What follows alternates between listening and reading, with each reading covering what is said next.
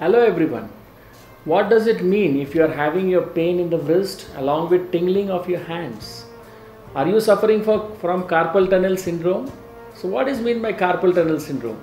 Classically, a person complains of tingling or numbness in the hands with the pain in the wrist which classically comes more in the night when the person is sleeping or in the early morning. He feels like doing moving his hands in the morning the hands are numb and often people are fearful whether my hand is paralyzed. But no this is just this can be just a carpal tunnel syndrome means a nerve in your wrist called median nerve which may rest, get pressed because of the hand because of the band in your wrist.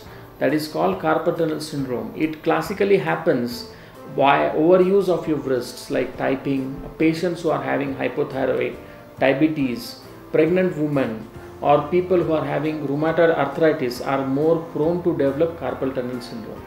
It's very important to identify the carpal tunnel syndrome early in its course because if we treat it early, we can prevent the nerve damage.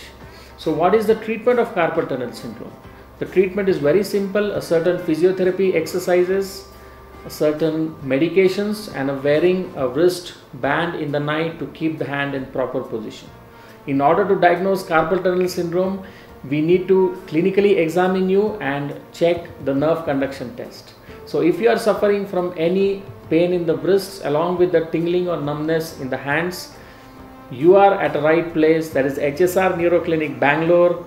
It is top 3 rated neurology clinics in Bangalore. Thank you very much.